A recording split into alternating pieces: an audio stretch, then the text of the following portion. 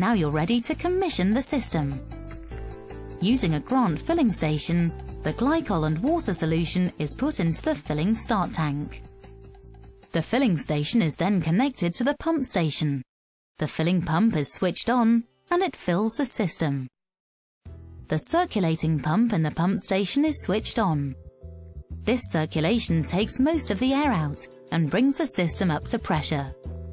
By opening the bleed valve, the remainder of the air is released from the system. On the pump station, there's a 6-bar pressure release valve.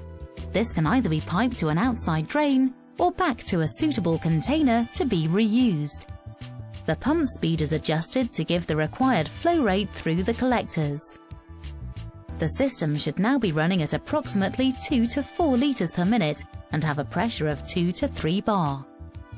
This whole process takes as little as 15 minutes to complete.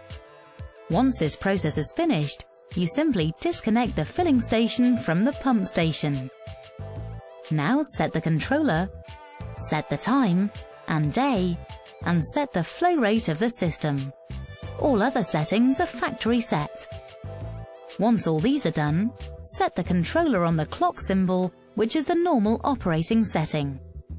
And the system is ready to go.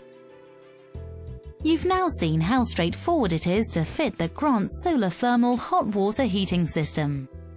You'll also recognise the very considerable business opportunity that selling and fitting Grant solar thermal systems provides. We at Grant wish you well, and of course are here to answer any queries you may have, and to provide the ongoing support you'd expect from our organisation in every other way.